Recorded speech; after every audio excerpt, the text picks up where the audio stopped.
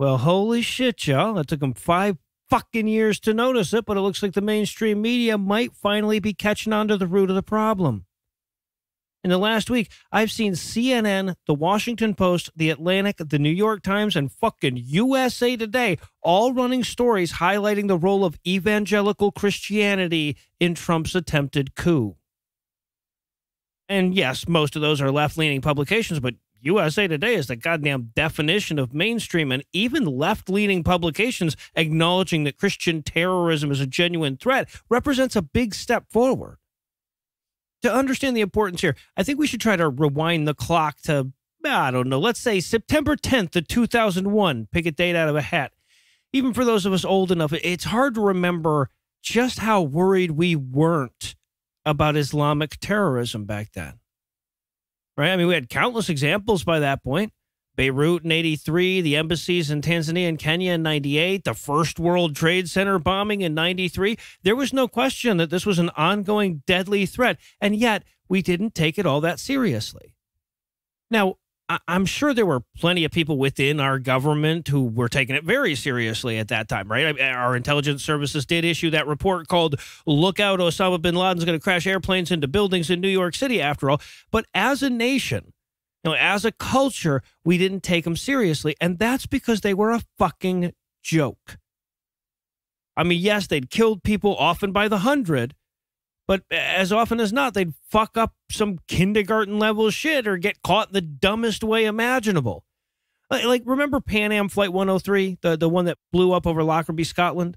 Now, I, that was a wholesale tragedy. 270 people died. I think it's still the deadliest terrorist attack in the UK's history. But but the dudes who did that got caught because they, they had to fill the suitcase that the bomb was going to be in with clothes to make it like look like a regular suitcase at a glance. So they just went to a thrift store and randomly bought a bunch of clothes with no thought as to the sizes, types, or styles. Needless to say, the guy running that store was like, "What the fuck's going on here?" He calls in a tip after the bombing, after they, you know, put on the news that it was in a suitcase, and there was a camera there. I mean, for fuck's sake, they caught one of the terrorists from the first World Trade Center bombing when the idiot tried to get the deposit back for the truck they had rented to put the bomb in. Right. And so, by and large, the attitude amongst most Americans at the time was that, yes, they could be sporadically dangerous, but mostly they were just fucking silly. If you want a great representation, look at the 1994 Schwarzenegger movie, True Lies. Right. I mean, the first thing that you're going to notice about the terrorists and that is how wildly racist movies were back then. But but then you're going to notice how sure the jihadis were dangerous, but far more than that, they were a thing to be mocked, not a thing to be feared. And then we saw the consequences of stupidity at its grandest scale, and there were no silly Islamic terrorists in our movies anymore. You look, I'm not saying that we can't laugh at the guy who tased himself in the nuts to death. I'm not even saying that we shouldn't.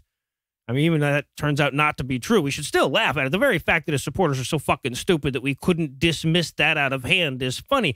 But let's be very careful along the way that we're not using that laughter to temper our fear. If I have my choice to face off against an angry rioter dumb enough to tase himself in the nuts to death and one smart enough not to, I'm not at all convinced I'm better off picking the former.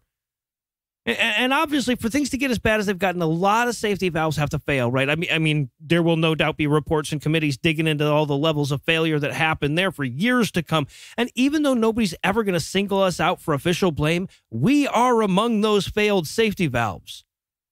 By we here, I mean the nation's skeptics, its rationalists, its atheists. Our self anointed role is battling against conspiracy thinking and irrationality. Our chosen nemesis is religious stupidity. And yet there we were, impotently watching them bumble their way through the Capitol looking for the button they had to push to switch our government over to fucking Handmaid's prequel. See, the thing is, they're gonna keep doing this shit. Uh, they had to literally smash through the windows and break into the Capitol building before our media was even willing to name the problem. And even now, it's only hesitantly, sporadically, and with apology. And while the nation will no doubt get better the second that they're out of power, their terrorism is going to get worse at that point. And along the way, they're going to keep tasing themselves in the nuts to death. And strangely enough, that's going to give them their greatest advantage. Right? Stupid disarms you because stupid is funny. But if there's one overriding lesson of the last four years, it's that stupid is actually way more dangerous than smart. And nothing can coax the danger out of stupid quite like religion.